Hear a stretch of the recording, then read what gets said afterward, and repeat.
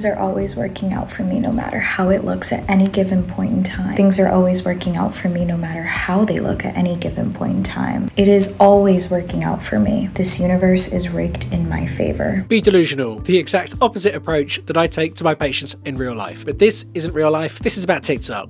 I had the best day ever. I'm so glad I'm the luckiest person in the world. Like, great things are always happening to me unexpectedly. I'm so lucky. Everything is always happening for me. That changes your frequency right there.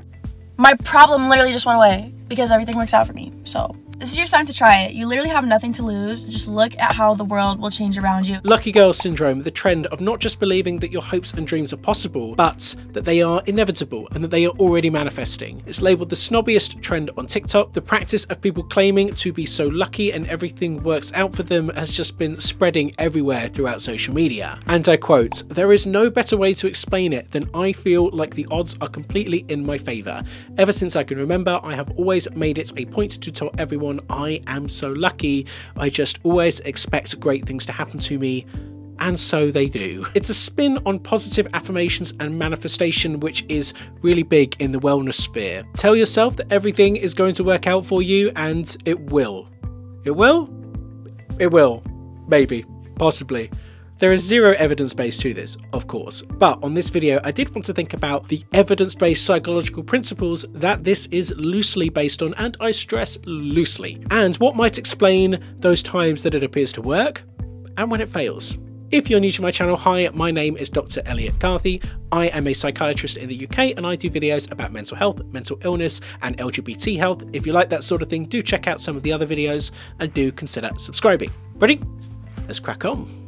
A positive mindset can be really helpful in life. Indeed, we know that lots of chronic health conditions increase your risk of depression and that having untreated depression massively worsens outcomes. So if someone's being treated for cancer, for dementia, for heart failure, and then they have comorbid depression, we know that this can lead to a faster decline and greater morbidity and mortality, probably for multiple reasons, whether this is uh, more hopelessness or less motivation to actually engage in the treatment, whether this is taking your meds or other forms of rehab. And we also know that depression makes people more likely to isolate themselves, cut themselves off from their support network, So treating depression is really, really important, and we do that using the bio-psycho-social model. So medications, talking therapy, and lifestyle changes. Cognitive behavioral therapy is the most common psychological tool that is used to treat depression. It comes in many forms, some techniques focusing more on the behavioral side, some more on the cognitions, so the thought patterns. And it's the latter that we're going to focus on when talking and trying to disentangle this concept of lucky girl syndrome. CBT starts with understanding how thoughts influence feelings, which influence physical sensations, which which influence behaviors. Crucially, you need to be able to distinguish between what is a thought and what is a feeling. For example, I feel like a failure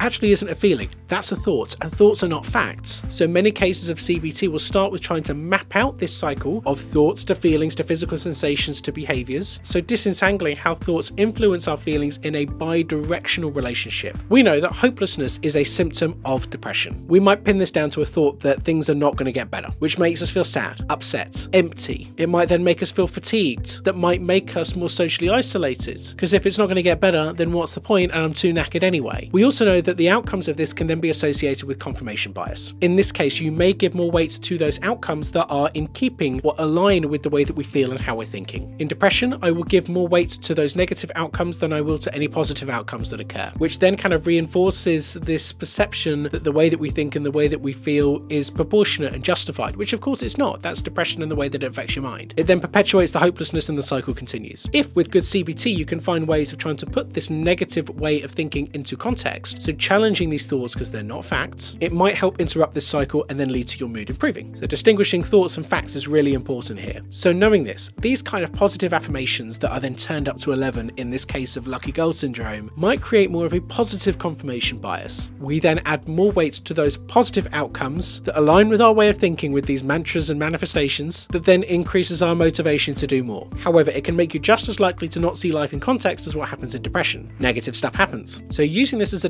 defense mechanism to essentially try and avoid the bad stuff or suppress the bad stuff and live a life in denial just doesn't work. It also implies that you're always in control, which of course you're not. Nobody is. When failures happen, we then think that we had some control over that failure, or that it was always preventable. And of course, it's not always preventable. Failures don't happen just because you weren't positive enough. That's a really dangerous mindset, particularly when you combine that thought pattern with seeing everybody's social media feeds with selectively showing you all the good bits in their life and sort of downplaying or ignoring the fact that there's loads of negatives happening too. By all means, dream big, be confident in yourself. But failure is not something that can be or should be avoided, and not everything in life is in your control. Do not let pseudoscientific wellness trends, often from people with a lot more resources than most people have, lure you into this false sense of reality. That's my thoughts. Let me know what your thoughts are though in the comments below, and I will see you for another video very, very soon.